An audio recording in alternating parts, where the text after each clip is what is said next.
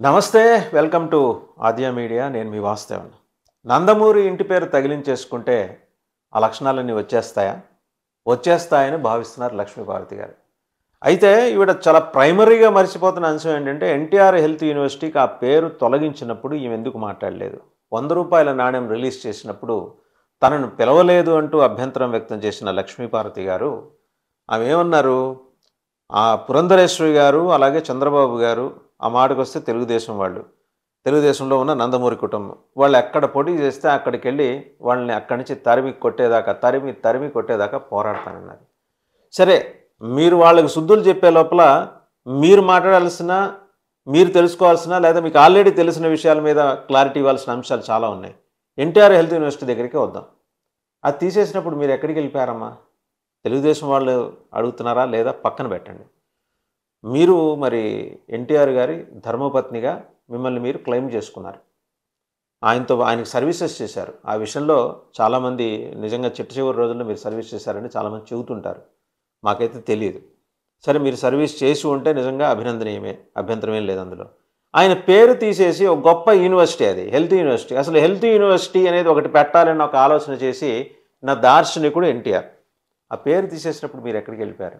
జనం అడుగుతున్నారు. తెలుగుదేశం వాళ్ళని మీరేం కన్సిడరేషన్లో తీసుకోగల జనానికైతే మీరు జవాబు చెప్పాలి కదా. రైట్ ఈరోజు వైసీపీ మిమ్మల్ని హక్కును చేర్చుకుంది మీకు మంచి పదవులు ఇచ్చింది మీకు గుర్తింపు ఇచ్చింది. సో మీకు ఎక్కడికి వెళ్ళినా కూడా మీకు ప్రోటోకాల్ ఉండేలా చేసింది. మంచిదే. సరే వాళ్ళకి మీరు రుణపడి ఉన్నారు. తప్పేం లేదు. మీకు రాజకీయంగా వాళ్ళు మీకు ఒక అవకాశం ఇచ్చారు. మిమ్మల్ని రిహాబిలిటేట్ చేశారు. పునరావాసం కల్పించారు. ఇవన్నీ మంచిదే. పురంధరేశ్వరి గారు మీద మీరు అలా ఇరుసుకు పడిపోవడానికి గల కారణం ఏంటనేది ఇంకా అర్థం కావట్లా. చంద్రబాబు గారికి మీకు అంటే ఓ పాత కక్షలు ఉన్నాయి అందరికీ తెలుసు. ఆయన మిమ్మల్ని ఎక్కడ తొక్కేశారు రాజకీయంగా అని చెప్పేసి మీకు బాధ కలిగింది. పురంధరేశ్వరి గారు ఏం చేశారు? వంద రూపాయల నాణం ఒక శకపురుషుడి పేరిట వంద రూపాయల నాణం రాష్ట్రపతి భవన్లో విడుదల చేసిన ఒక సందర్భంలో మిమ్మల్ని పిలవకపోవటం పట్ల మీకున్న అభ్యంతరాలు వ్యక్తం చేయటంలో ఎవరే మిమ్మల్ని తప్పట్టట్లా కానీ మీరేమన్నారు? ఒక శకపురుషుణ్ణి యుగపురుషుణ్ణి కూడా మీరు నిందించారు.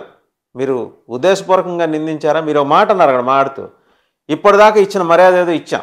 అయిపోయింది. సంస్కారంగా చూశాను. అది కూడా అయిపోయింది. ఇక నేను బయటకు వచ్చేసాను కంప్లీట్గా ఆ కుటుంబం నుంచి అని చెప్పి ఎన్టీఆర్ని కూడా మీరు నిందించారు. ఏమని? ఆయన నన్ను ఉంచుకున్నారా అని.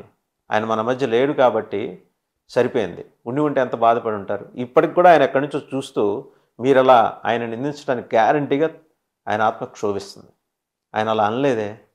మిమ్మల్ని పెళ్ళి చేసుకున్నారు ఆయన. పరిచయం చేశారు. ప్రపంచానికి ఆయన భారీగా పరిచయం చేశారు. మిమ్మల్ని వీళ్ళు పిలవకపోవటానికి గల కారణం ఏంటనేది మరి వీళ్ళ కుటుంబంతో మీరు మాట్లాడుకోవాలి. రాష్ట్రపతి భవన్ని కూడా మీరు కాంట్రవర్సీలోకి లాగేస్తే ఎట్లాగా? ద్రౌపది ముర్ము గారు ఒక మహిళ ఆవిడ రాష్ట్రపతి దేశ ప్రథమ పౌరురాలు. వారిని కూడా మీరు వివాదంలోకి లాగేస్తారా? అంటే ఓకే మీకు పునరావాసం కల్పించిన వారి పట్ల మీకున్న విధేయత మీ మీరు వారి పట్ల చూపిస్తున్న నిబద్ధత కన్సర్న్ అలాగే స్వామి భక్తి ఇవన్నీ అప్రిషియబులే మీరు ఆ పార్టీలో ఉన్నారు కాబట్టి. మీకు తెలుగుదేశంలో ప్రత్యేకించి తెలుగుదేశం చీఫ్ తోటి ఎడతెగని వైరం ఉంది. రాజకీయంగా పోరాడండి. తాపకి కుటుంబాన్ని మధ్యలోకి లాగేసి మీరు కుటుంబాన్ని బదనాం చేసే ప్రయత్నం. ఎన్టీఆర్ కుటుంబ సభ్యులు ఏం చేశారు చెప్పండి? నందమూరి బాలకృష్ణ గారు ఏం చేశారు? పురంధరేశ్వరి గారు ఏం చేశారు? లేదా మిగిలిన కుటుంబ సభ్యులు ఏం చేశారు? వాళ్ళ పెళ్ళిళ్ళకి మిమ్మల్ని పిలవలేదన్నారు. సో దానికి కూడా మీరు ఏదో వివరణ ఇచ్చుకున్నారు వాళ్ళ ఇళ్ళలో జరిగిన పెళ్ళిళ్ళకి. ఏమని? సరే వాళ్ళ ఇళ్ళలో జరిగిన పెళ్ళిళ్ళు నన్ను పిలవకపోతే ఏం మానలే? అయిపోయింది బట్ ఎన్టీఆర్ భార్యగా మీకు దక్కాల్సిన గౌరవం దక్కలేదు కాబట్టి నోరేసుకొని పడిపోతే సమాజం అంగీకరిస్తుందా? ఒకసారి ఆలోచించండి లక్ష్మీభారతి గారు. మీకు విద్వత్తు ఉంది భాష ఉంది మీకు ఒక వరం కూడా ఉంది చక్కటి సాహిత్యం మీద మీకు అభినివేశం ఉంది కమాండ్ ఉంది భాష మీద కమాండ్ ఉంది. మీకు ఇచ్చిన టాస్క్ని మీరు పూర్తి చేయడంలో మీరు దిట్ట అనే పేరుంది. ఇన్నున్న తర్వాత హఠాత్తుగా మీరు వచ్చి మీడియా ముందు కళ్ళనీళ్ళు పెట్టేసుకొని అదేదో ప్రైవేటు కార్యక్రమం నిర్వహించేసుకున్నారు ఎన్టీఆర్ కుటుంబ సభ్యులు ప్రైవేట్ కార్యక్రమం ఎలా అవుతుందండి? రిజర్వ్ బ్యాంక్ ఆఫ్ ఇండియాకి ఈరోజు మీరు రిప్రజెంటేషన్ ఇచ్చుకుంటే అయ్యా మాకు ఎన్టీఆర్ గారి వంద రూపాయల నాణ్యాలు కావాలంటే దానికి ఏదో కొంత రుసుము ఉంటుంది. ఆ రుసుము చెల్లించి మీరు కూడా తెప్పించుకోవచ్చు. ఆయన యుగ పురుషుడు.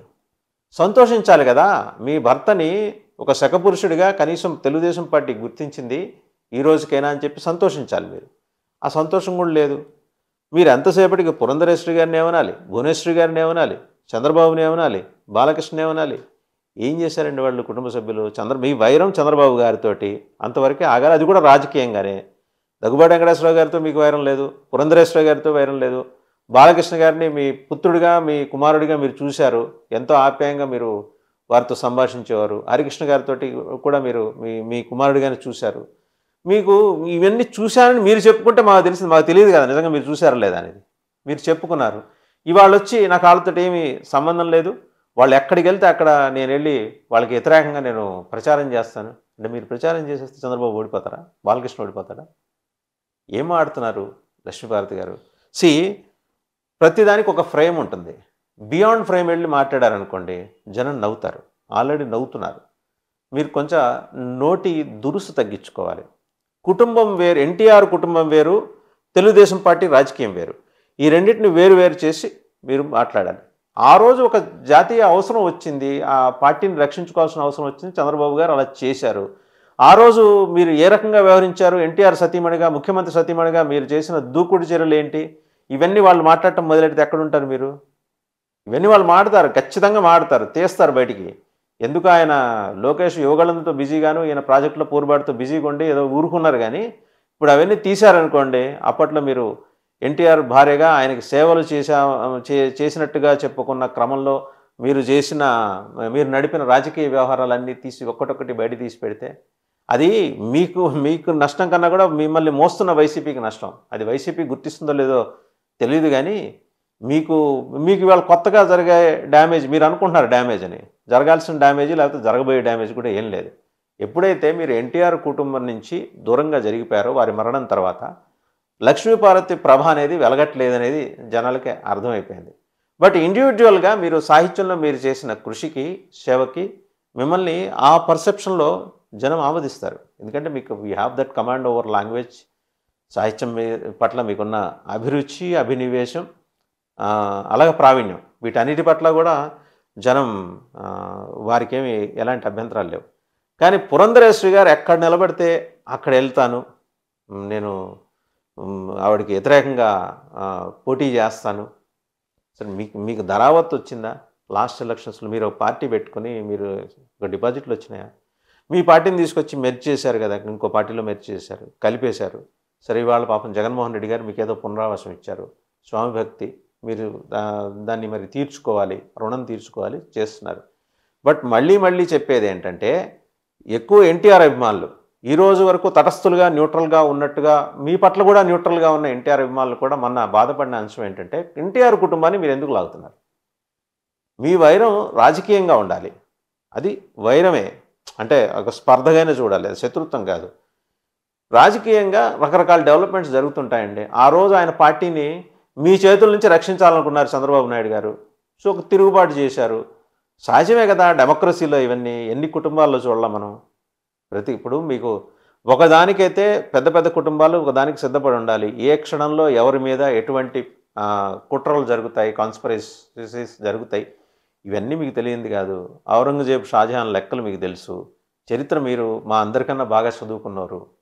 ఒక్కొక్క రాజ్యం ఏర్పాటు చేసేప్పుడు దాన్ని స్థిరీకరించేప్పుడు వచ్చే కొన్ని అక్కర్లేని అక్క అవసరం లేకుండా మొలిచే కొన్ని మొలకలు ఉంటాయి వాటిని తీసేయటం కలుపు మొక్కల్ని తీసేయటం కోసం చేసే ప్రయత్నాలు. ఆ రోజు చంద్రబాబు గారు చేశారని వాళ్ళు చెప్పుకుంటున్నారు. రైట్ మీకు చేతనైతే దాని మీద పోరాడండి.